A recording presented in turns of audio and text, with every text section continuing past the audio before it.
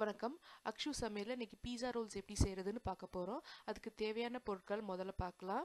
அரை கிலோ மைதா மாவு ஆறு கிராம் உப்பு ஏழு கிராம் ஈஸ்ட்டு நாற்பது கிராம் வெண்ணெய் ரெண்டு டேபிள் ஸ்பூன் சர்க்கரை அதாவது சீனி கிட்டத்தட்ட ஒரு பதினஞ்சு கிராம் வரும்.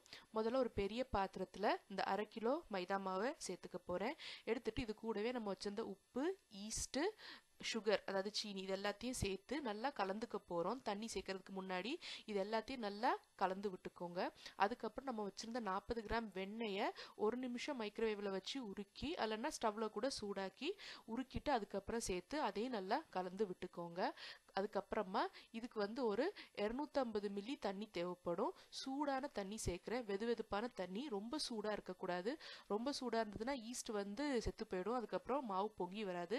ரொம்ப சூடு குறவாக இருந்து பச்சை தண்ணியாக இருந்ததுன்னா ஈஸ்ட் வந்து ஆக்டிவேட் ஆகாது. அப்போவும் மாவு பொங்காது. அதனால் வெது வெதுப்பான தண்ணி சேர்த்து இந்த மாதிரி நல்லா பிசைஞ்சு எடுத்துக்கோங்க. ரொம்ப ஹார்டாக இல்லாமல் இந்த மாதிரி லேசாக ஒட்டி பிடிக்கிற மாதிரி கையில் கொஞ்சம் பிசு பிசுப்பாக ஒட்டுற மாதிரி இருக்கும். இதை மறுபடியும் அதில் வச்சு ஒரு ஈர துண்டை வச்சு மூடி வச்சிருங்க. நல்லா வார்ம் பிளேஸில் இருக்கிறீங்கன்னா ஒரு மணி நேரத்தில் பொங்கிடும் கொஞ்சம் கோல்டு பிளேஸில் இருக்கிறீங்கன்னா ஒரு மூணு நாலு மணி நேரமாக தான் ஆகும்.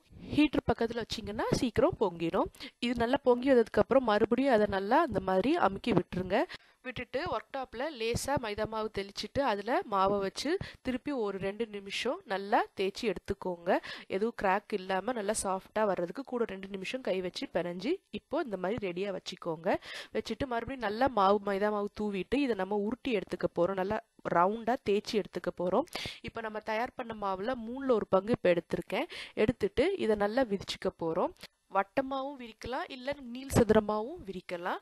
எப்படி உங்களுக்கு வசதியோ விரிக்கலாம் விரிச்சிட்டு இதில் நம்ம கொஞ்சம் பீஸா சாஸ் தேய்ச்சிக்க போகிறோம் வீட்டில் பண்ண பீஸா சாஸாக இருந்தாலும் சரி இல்லை கடையில் வாங்கின பீஸா சாஸ் எது இருக்கோ தேய்ச்சி நல்லா விட்டுட்டு கொஞ்சமாக பேசில் காஞ்ச பேசிலும் காஞ்ச ஒரிகானாவும் மேலாப்பில் தூவிக்கோங்க கொஞ்சம் வாசனைக்கு.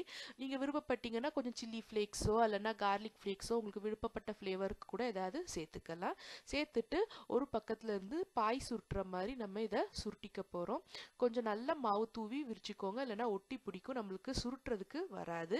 புஷ் பண்ணாமல் மேலே அப்படி எடுத்து நல்லா உருட்டுங்க அப்போ தான் நம்மளுக்கு லேயர்ஸ் வரும். அதே மாதிரி சாஸ் தடவும் போதும் ஒரு ஒரு சென்டிமீட்டர் இடம் விட்டு சைடில் தடவுங்க. அப்போ தான் வெளியில் வராது இந்த மாதிரி சுருட்டும் போது இப்போ அதை வெட்டுறதுக்கு முன்னாடி ஒரு பீஸா ட்ரே எடுத்து கொஞ்சம் மாவு தூவி அதை ரெடியாக வச்சுக்க போகிறேன் அடுத்து ஒரு கத்தியை வச்சு ரெண்டு சைட்லையும் ஒரு அரை அரை சென்டிமீட்டருக்கு கட் பண்ணி எடுத்துருங்க. கொஞ்சம் ட்ரிம் பண்ணுறதுக்கு அதெல்லாம் அன்ஈவனாக இருக்கும். அதுக்கப்புறமா ஒரு ரெண்டு சென்டிமீட்டர் நீளத்துக்கு நம்ம சின்ன சின்ன பீஸாக கட் பண்ணி எடுத்துக்க போகிறோம் இந்த மாதிரி ஒரு ஒரு பீஸாக எடுத்து நம்ம மாவு தூவி வச்சுருக்கிற ட்ரேயில் வச்சிருங்க. அந்த கட் பண்ண பகுதி வந்து கீழே தரையில் படுற மாதிரி வைக்கணும்.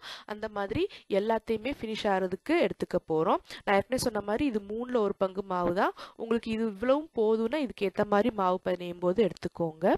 இதே மாதிரி எல்லாத்தையும் அடுக்கி வச்சுட்டு கூட ஒரு அரை மணி நேரத்துலேருந்து ஒரு மணி நேரம் அதை வந்து மறுபடியும் பொங்க விட்டுருங்க.